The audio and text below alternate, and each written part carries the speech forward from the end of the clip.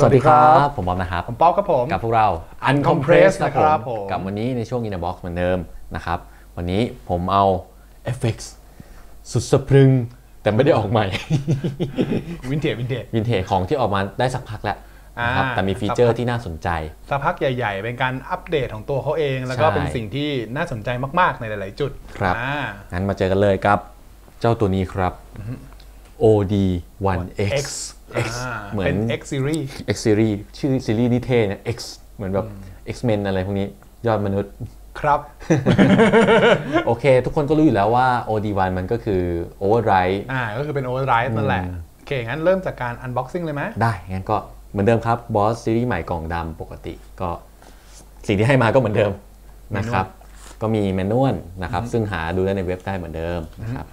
สีที่คุ้นเคยก็อาจจะมี เขาเรียกว่าเดี๋ยวแกะออกมาก่อนจะให้ดูสี คือสีก็โทนเหลืองเหมือนเดิมแหละ คืออย่างนี้ต้องอธิบายก่อนว่าบอสอะเขาแบ่งประเภทจริง ๆ แล้วบอสแบ่งประเภทเอฟเฟกตามสีอืมอ่าสีส้มจะเป็น distortion สีเหลืองเป็น overdrive Overdrive อะไรพวกนี้อ่าแต่อาจจะมีเขาเรียกว่ามีหลาย ๆ เฉดอะอืมนึกง่าย ๆ นึกถึงตัวที่คุ้น ๆ นะ SD อ่า1 Super SD1 Overdrive ก็ก็จะจะเป็เป็นนสีเหลืองเหลืองอ่อนอะไรประมาณนั้นอ่า Distortion DS1 เป็นสีส้ม อืมอ่า Turbo Distortion ก็จะเป็นสีส้ม เกือบแดงอะไรอย่างงี้ที่ใส่แดงเข้มมาหน่อยเออเข้มขึ้นมานิดนึงเออเมกอะไรเมประกามาณก็แดงไปเลยอะไรพวกนั้นใช่เอออะไรเงี้ยอ่าลักษณะ delay เป็นสีขาขาววถ้าเป็นดิจิตอล delay อ่าอะไรประอันมาณนั้นเราก็ชนั้มนพูอะไรก็ประมาณนั้นนะครับอืมก็หน้าตาก็คือ BOSS อ่าแต่คราวเนี้ยจะมากับสี knob แทนที่ปกติอ่าจะเป็นเป็นโทนใช่ไหมใช่คราวนี้เขาก็จะเพิ่มเพิ่มการเขาเรียกว่าอะไรการทวิกทวิกมากขึ้นอะไรอืมประมาณนั้นครับผม โอเคก็เริ่มต้นตัวแรกเลยครับ สิ่งที่น่าสนใจที่ผม present คืออมความเป็น Silver Screw ซิลสกรูอ่ามีความแบบเอ้ย vintage BOSS แบบ Japan จะมีครับความเป็นอ่า Silver Screw ครับนิดนึงนะครับผมแต่ตัวเนี้ยไม่ได้ทำในญี่ญี่ปุ่ปุ่นนนะโอเคครับเคลียร์กันก่อน สีก็ใส่เขาเรียกว่า sparkling หน่อยๆโรย ใช่ใช่ใช่ใช่ใช่ใช่นิดนึงจะมีความถ้าขยับ sparkle อะครับเออในกล้องไม่น่าเห็นไม่แน่ ไม่แน่ก็เห็นถ้าปะขยับไฟก็จะนิดๆหน่อยๆเห็นไหมแล้วก็ตัวแป้นข้างบนเนี่ยจากปกติที่เป็นแป้นอย่างอื่นปกติเป็เนี่นยสีดำสีดำอะไรอะไรประมาณเงี้ยนั้นอันนี้ก็เป็นจะเงาๆเป็น chrome เป็น chrome เป็น chrome knob ก็โครมอ่า knob ก็ chrome อะโอเคก็สิ่งที่น่าสนใจเนี่ยอืมจะอยู่ข้างในตัวนี้ครับคือผมการ processing ของมันครับเป็น processing MDP ครับ MDP เนี่ยย่อมาจาก Multi Dimension processing Processing อ่าอืมมันเป็น multi dimension ยังไงครับ คือเขาจะมีการคำนวณเรื่องของเสียงกับสาย น้ำหนักในการเล่นด้วย อ่าอืมเวอร์ชันขายของเกลียดจริงเลยดูตีคอได้ไหมเนี่ยก็คุณอืมเคยประสบปัญหาหรือเปล่าอ่า กับการที่เวลาที่คุณตั้งเซต overdrive ไว้อืมแล้วเวลาที่คุณดีดสายหกแล้ว หรือสายต่ำอืมๆเสียงได้แบบหนึ่ง เช่น คุณได้เสียงที่พอดีอืมพอคุณไปสายหนึ่งย่านเสียงแหลม เสียงที่แบบเสียงเอ่อเลเวลหายอ่าเสียงจะมีความอูอีอู้อี้อ่าอ่าอะไรประมาณนั้น หรือเซตเอาไว้ที่เสียงแหลมหนานวลโซโล่กำลังอ่าดี พอลงมาโซโล่เสียงต่ำเสียงมัน woolly woolly เกินไปอะคราวเนี้ยครับ MDP คราวเนี้ย come into play แล้วคืออมันจะเข้ามาจัดการก็คือ มันจะคำนวณอืมทำให้ ทุกสายทุกโน้ตอืมให้เสียง drive ที่เป็นลักษณะเดียวกันเดียวกัน level dynamic tone อะไรต่างใช่ๆอะไรซึ่งในซีรีส์เนี้ยจะมีอยู่อีก 2 ตัวคือเป็น compressor กับ distortion ซึ่ง distortion จ้าบมากอืมแต่ของหมด นะจ้าจ๊ะคือคือถามว่าทำไม distortion อะมันจ้าบมาก เพราะว่า distortion อะมันจะเข้ามามีผลค่อนข้างเยอะ แต่ compressor ก็มีผลนะครับเพราะว่าสายใหญ่มัน power อะพลังอืมพลังของ Energy เสียงอะเอออ่อ่ามันเยอะกว่าคือครับ energy มันเยอะอืมมันทำให้การคำนวณพวกเนี้ยมันจะช่วยได้เยอะใช่ซึ่ง distortion ก็เหมือนกันว่าเวลาที่เราเซตไว้เสียงแตกหนาๆ พอเราไปโซโล่ข้างล่างอืมอะไรอย่างเงี้ยมันอาจจะบางลงหครัรืบอแหลมอืมมันก็จะช่วยทำให้ เสียงมันเท่ากัน เท่ากัน balance ได้ดีขึ้น ใช่จ้าบอ่าจ้าบอืมแต่ตัวนี้ก็จ้าบตรงที่ว่าเดี๋ยวไปฟังดีกว่าเดี๋ยวไปฟังก่อนเดี๋ยวอธิบายให้ฟังอีกทีงั้นครับเดี๋ยวขอไปประกอบอุปกรณ์ดีกว่ารอแป๊บหนึ่งจัดไปจัดไปนะครับกับ setup เดี๋ยววันนี้จะมีอะไรบ้างเดี๋ยวให้พี่ปออธิบายแล้วกันโอเคก็ครับผมเริ่มจากกีตาร์ก่อนครับผมก็คือกีตาร์ตัวนี้เลยเป็นครับ Schecter Custom Shop นะครับผมของผมเองครับต่อผ่านสายเคเบิล Pig Hog นะครับครับผมขอขอบคุณเจ็ดกีตาร์ช็อปไว้ตรงนี้ด้วยนะคครัรับบผมผมขอบคุณครับอ่า ต่อเข้ามาที่พระเอกของเราในวันนี้ครับผมเป็น Boss OD1 X นะครับผมครับต่อกลับเข้าไปหาตู้แอมนะครับผมครับ Boss Nextone นะครับผมทั้งแอมป์แล้วก็เอฟเฟกอืมขอขอบคุณทาง Theera Music เอาไว้ครันะบผมที่นี้ด้วยนะจ๊ะครับขอบคุณครับโอเคแล้วเสร็จปุ๊บเนี่ยเราก็จ่อไมค์ครับผมผ่านไมค์ SM57 นะครับผมต่อมาเข้า Focusrite Forte นะครับผมแล้วก็มาเข้าคอมพิวเตอร์ครับนะครับผมทำการอัดของพวกเราเองทั้งหมดครับอ่างั้นเรามาเริ่มฟังที่เสียง clean ของตู้แอมป์ที่เราเซตไว้ก่อนดีกว่าได้ครับครับผม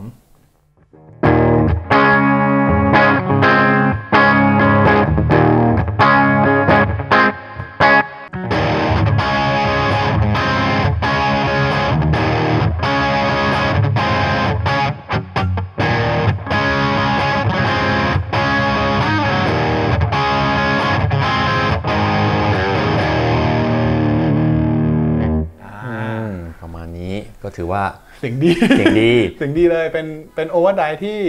ขนาดเราตั้งไว้อืมตรงกลางมีความรู้สึกที่มันเป็นเป็น crunch ครับเป็น crunch เป็น crunch ที่ไม่อ่อนด้วยครับเป็น crunch ที่มีความ mid gain ระดับหนึ่งอะไรครับประมาณนั้นอ่าให้เสียงที่ได้เนื้อได้หนังดีอะครับเสร็จปุ๊บเรามาว่ากันครับว่าคราวเนี้ยแต่ละ knob ทำอะไรบ้างก็คืออย่าน low ย่าน high แล้วก็ drive มาเดี๋ยวเดี๋ยวผมจะเล่นไปเรื่อยๆเดี๋ยวให้บอมค่อยๆหมุนให้ดู ได้ครับ มันเริ่มจากตัวเนาะอะครับเลย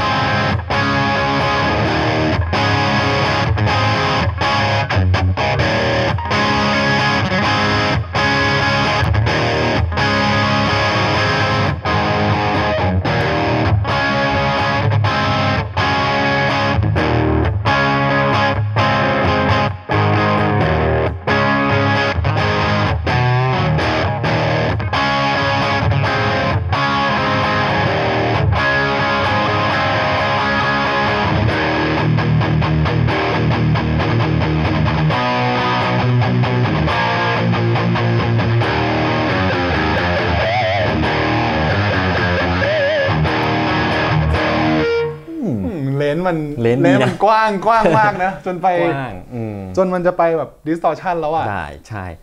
แล้ว low drive ก็ไม่ได้แย่ด้วยนะ แบบ low gain ก็ถือว่าโอเคเลยนะ อืม ไม่ได้แย่เลยโอเคงั้นเดี๋ยวเรามาลองปรับ sound ที่คิดว่าโอเค ได้ สักสาม sound ดีกว่า อะอะเริ่ม sound แรกขอเป็น sound แบบ low gain ก่อนอะ low gain อ่า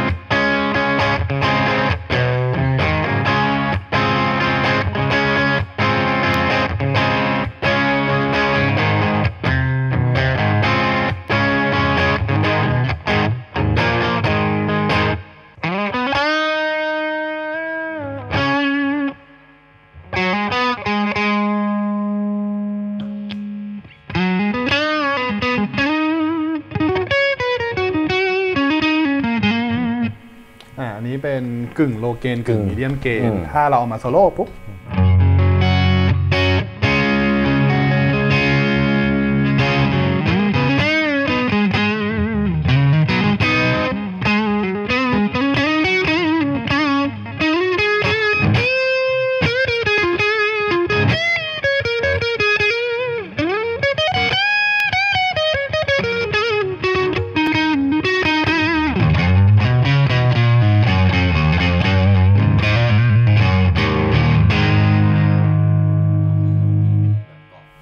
ก็มี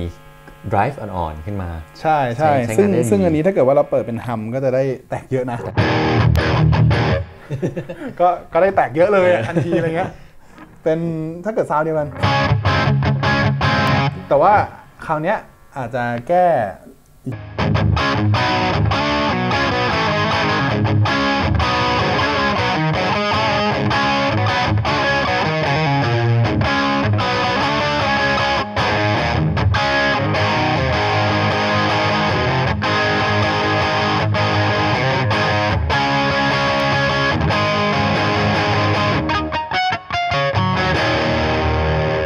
เออก็เป็นครั้นพอดีพอดีมิพดอดีเกพอนดีอะคราวนี้ถ้าเป็น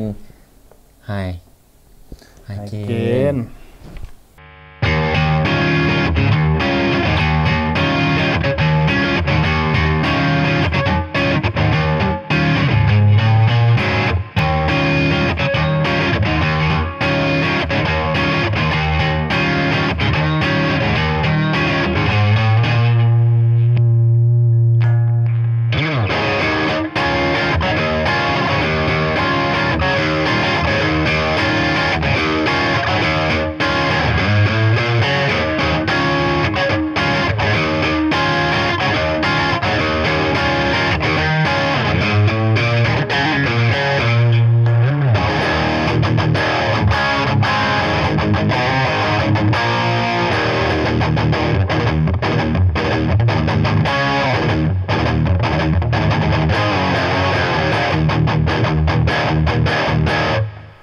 เจอฮัมแล้วมันกลายเป็น distortion ไปแล้วนะ ใช่ ที่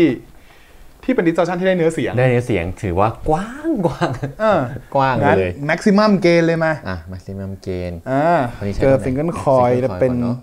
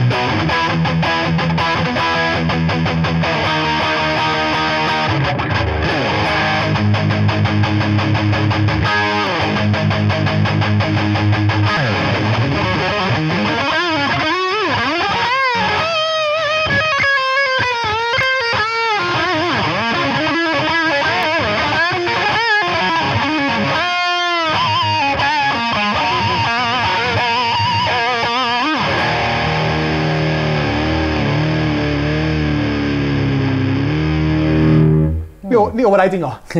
กว้างไงสไตล์ BOSS อยู่แล้วเออมันมันจะมีความแบบมันจะมันจะ distortion อยู่แล้วอะใช่มันมีความแบบพอพอเจอ hum ปุ๊บอืมมันได้หนักมากแต่ว่าความที่มันมีความเป็น overdrive อะมันมันก็เลยจะมีเนื้อเสียงที่ชัดเจนอยู่ใช่ยังไม่ได้แตกพร่าขนาดนั้น มันก็ไม่ได้ดิบดุมากขนาดนั้น แต่ว่าก็ไปได้ไกลครับเจอ single coil แล้ว feel นะอืมจริงมๆแล้วรู้สึกรู้รู้สึกชอบเวลา feel ตอนเจอเป็น single coil มากกว่า แล้วอย่างที่เมื่อกี้ที่ผมลองจะได้ยินแล้วว่า เวลาที่ อยู่อ่าโน้ตต่ำอืมกับไปโน้ตสูงอะ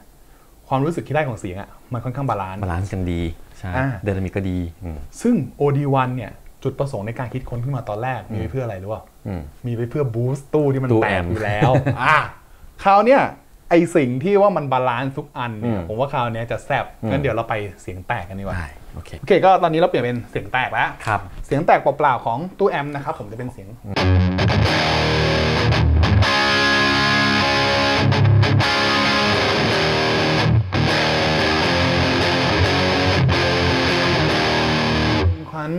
mid gain Mid สไตล์อืมอังกฤษอังกฤษอ่าอังกฤษผู้หนุ่มอังกฤษพ่อหนุ่มอังกฤษอะคราวนี้เราอัด booster ที่เราเซตไว้แล้วคราวนี้ความเฟี้ยวจะมายังไงเดี๋ยวพี่เล่นแล้วเดี๋ยวลองให้บอมเปิดให้หน่อยได้ครับ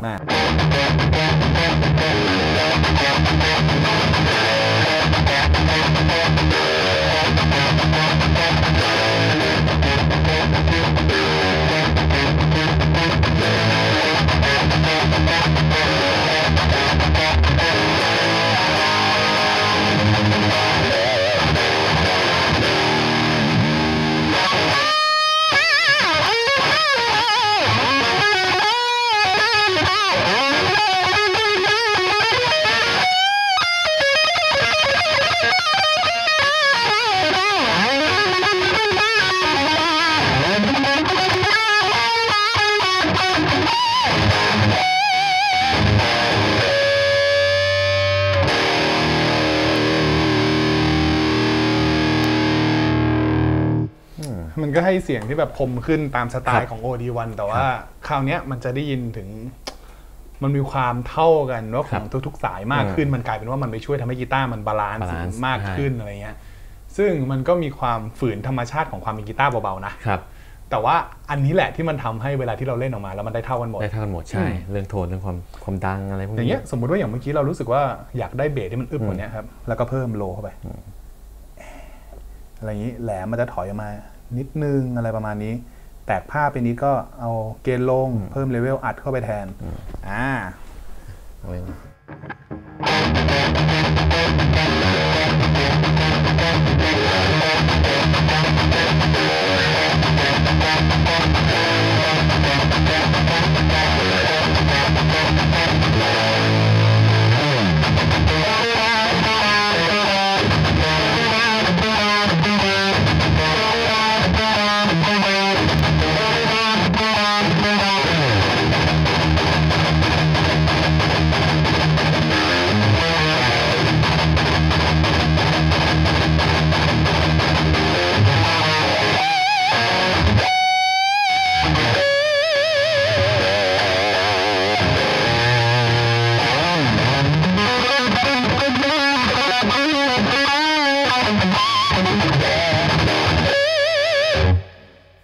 เฟี้ยวเฟี้ยวขึ้นอะไรเงี้ยหรือถ้าเกิดว่าอยากได้เป็นตามสไตล์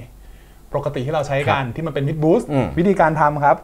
ก็แค่ทำ EQ กลับกันกับการเฉยเอา 2 ตัวนี้ลงๆอืมเท่านั้นเอง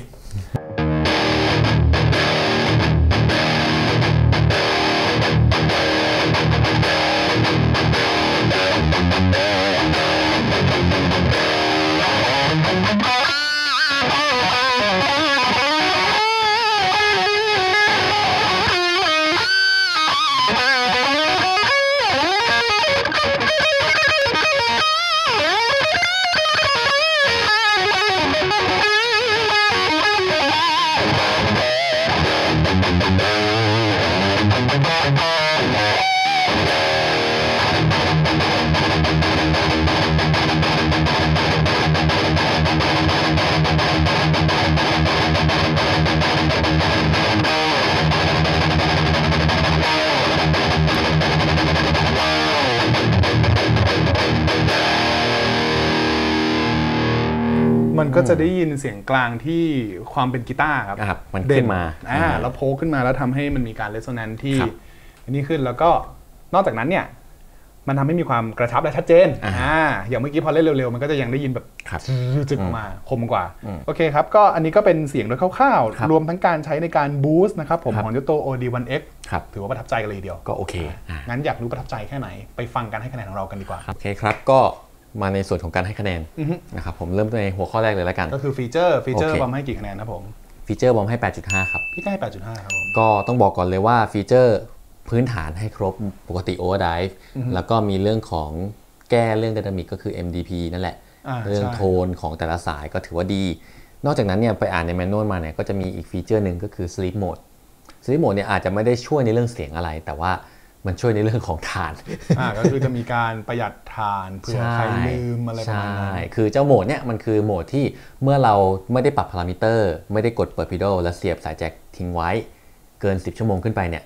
มันจะทำการเข้าสู่สลิปโหมดก็คือจะตัดการทำงานของการดูดกระแสในฐานอ่าการดูดถ่านคือเดี๋ยวทิ้งไว้นานๆแล้วถ่านหมดอะไรใช่ประมาณนั้นใช่แต่ถ้าบางคนไม่ชอบใช้โหมดนี้แบบเข้าห้องอ่านนานๆแล้วอยู่ดีมันสลีปไป จริงๆ แล้วก็กดพิโดอีกทีก็ใช้ได้ ถ้ากดไม่ติดก็แค่ถอดสายแจ็คเสียบสายแจ็คก็หาย แต่ถ้ารู้สึกว่ายุ่งยากนะครับในแมนนวลมีวิธีทำอยู่ อารมณ์เกมคอนท่าอะไรนะซ้ายซ้ายขวาซ้ายขอะวาซ้ายสุดขวาสุดขวาสุดซ้ายสุด แล้วก็เหยียบเพด a ลค้างถอดแจ็คเอาเป็นว่าช่างมันเถอะเอาเป็นว่าช่างมันเถอะถ้าถ้าเกิดถ้าเกิดว่าจะอย่างนั้นก็เอออะหมุนยากขนาดนี้ S of Use ครับ S of Use ให้กี่คะแนนครับใจ S ง่าย of ง่าย use จริง ๆ แล้วผมให้ 8.5 พี่ก็ให้8.5ครับผมเออเพราะอะพูดพอพูดถึงสลิปโหมดผมไม่ได้เอาปัญหาเรื่องสลิปโหมดมาใช้ เพเพราะราะว่าพวกเราไม่ได้ใช้อยู่แล้ว ไม่ได้ใช้อยู่แล้ว 2 คือต่อให้ไม่ปิด มันก็สามารถเปิดกลับมาใช้ได้ปกติโดยการหยิบเพด a ลหรือแค่ถอดแจ็คอะไรอย่างเงี้ยอืม มันก็ปกติอะหมุนหนอบหมุนอะไรก็หาย มันก็ไม่ได้มีอะไรที่มันจะรู้สึกแบบใช่ เฮลโหลอะไรมันไม่ได้เป็นปัญหา อ่า ก็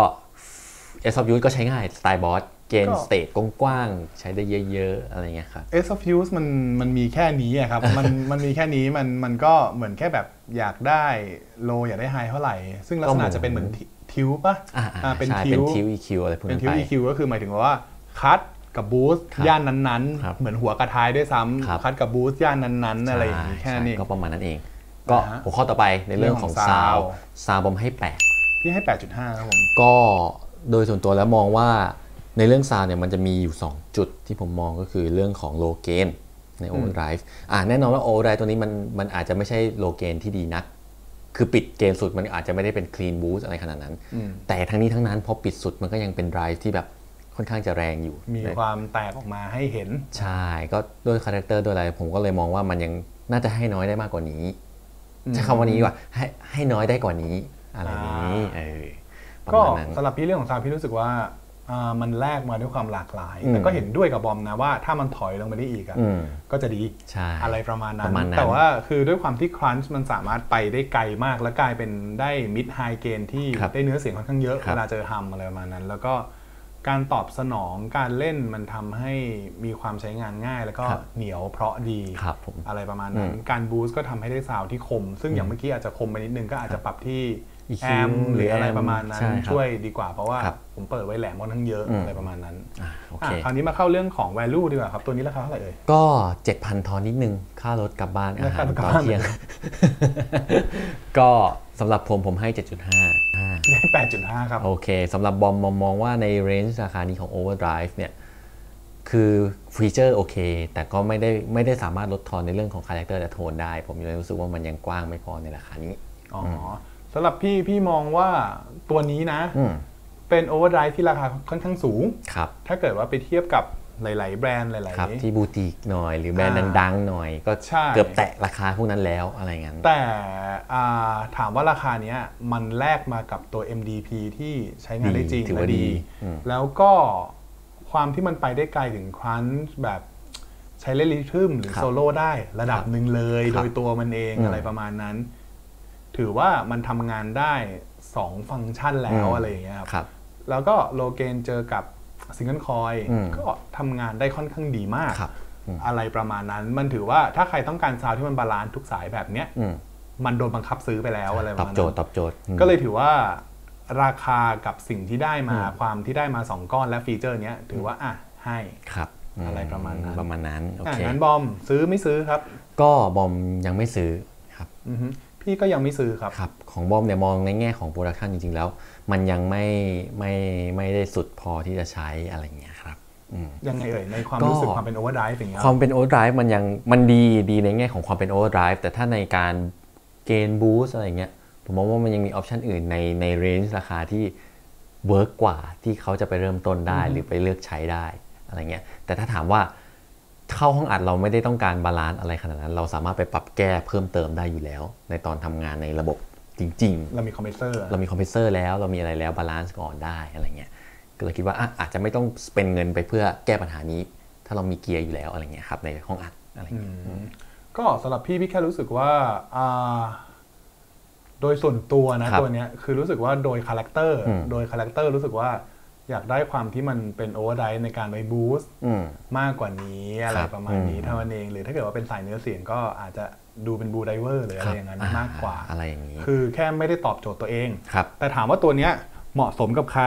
น่าซื้อ โอเคก็คือใครที่ต้องการเสียงแตกอ่อนไปจนถึงมิดไฮมีเกหายกว้างๆแล้วไม่ได้ใช้หลายตัว ใช้ตัวเดียวแต่ใช้วิธีการเปลี่ยนปิกอัพ หรือเปลี่ยนอ่าเนี่ยเพจะราะอย่างช่วยเมื่อกี้ได้การตอบสนองปิกอัพมันจะได้ยินชัดอะไรประมาณนี้ใช่ก็เหมาะกับคนเล่นไลฟ์ที่ไม่ต้องการพกเยอะ ตัวนี้ก็เป็นออปชันที่กว้างๆเล่นได้วาไรตี้มากขึ้น อย่างที่น้ผอมยมองนะ อย่างน้อยนะ อย่างน้อยทดแทนเรื่องของหนึ่งคือโอเวอร์ไดสองก้อนอ่าใช่เนี่ยอันนี้สามเห็นคืด้วยคอมเพรสเซอร์ครับซึ่งถ้าคอมเพรสเซอร์คุณของไม่ถึงจริงเนี่ยอ่ามันก็เอามาคุมก็ลำบาก การที่คอมเพรสเซอร์จะครับทำงานหน้าที่ประมาณเนี้ยอืมมันต้องไปอยู่ข้างหน้ามันก็จะเสียเนื้อเสียงอีกครับใช่อะไรประมาณนั้นซึ่งอืมมันเป็นมันเป็น character ที่ถามว่าจริง ๆ พี่สองจิตสองใจระหว่างซื้อมไม่ซื้อนะครับเพราะว่ามันถ้าเอาไปเล่นสดถือว่าตัวเนี้ยค่อนข้างค่อนข้างดีค่อนข้างครอบคลุม โอเคเลครอบคลุมประมาณนั้น อืมแต่ว่าพี่อาจถ้าถ้าเกิดเป็นพี่อย่างที่บอกอาจจะเป็น BD2W หรือ HD1W อะที่เนื้อเสียงมันอีกแบบนึงเออถูกจริตกว่าอ่าแต่ถ้าพี่จะเอาอันนั้นอะพี่ต้องเอาสองก้อนนั้นอะมารวมกันมารวมนะกัน ถึงถึงจะได้อารมณ์ประมาณก้อนนี้ครับอะไรประมาณนั้น โอเคอย่างนี้ก็เป็นทัศนะของเราในเรื่องคะแนนแล้วก็ เรื่องซื้อไม่ซื้ออ่าเพราะฉะนั้นถ้าเกิดว่าใครอยากรู้ว่าตัวเองชอบไม่ชอบโดนไม่โดนครับแบกกีตาร์ไปได้ครับ ที่ทีละ Tira มิวสิ Music กอ่าทีละมิวสิกปิ่นเกล้านะคครัรับบผมก็ขอบคุณไว้ในที่นี้ด้วยครับนะครับขอบคุณครับผมหรือก็ไปลองที่ตัวแทนใกล้บ้านท่านครับก็ได้ หรือที่ไหนก็ได้ที่เขามีขายก็ไปลองบอสใกล้ๆบ้าหานไม่ยากอยู่แล้วในใช่หลายๆที่นะครับคือคือไม่ต้องอยู่เชียงใหม่แล้วบินบินมาเพื่อลองก็ได้ก็ถ้าจะหนีฝุ่นก็โอเค จัดไป ก็ประมาณนี้นะครับก็เป็นเนื้อหาของบอสตัวนี้นะครับ OD1X ก็ขอบคุณมากที่ดูจนถึงตอนนี้นะครับสำหรับใครมีคำถามเพิ่มเติมเกี่ยวกับเจ้าตัวนี้นะครับผมสามารถสอบถามมาได้นะครับด้านล่างนี้เลยช่องทางการติดต่อจาก Facebook จะ Subscribe ใน YouTube ก็ได้ หรือจะกด See First เพื่อดูคอนเทนต์เราต่างๆ นานาก็ได้นะครับ ก็อย่าลืมติดตามเราด้วยนะครับสำหรับคราวหน้าเนี่ยจะมีคอนเทนต์อะไรก็ติดตามชมเราด้วยนะครับ ว่าเราจะรีวิวหรือจะทำอะไรกันแน่นะครับผมสำหรับวันนี้ผมกับพี่ป๊อปต้องไปก่อนแล้ว สวัสดีครับ สวัสดีครับ กดกระดิ่งด้วยนะจ๊ะ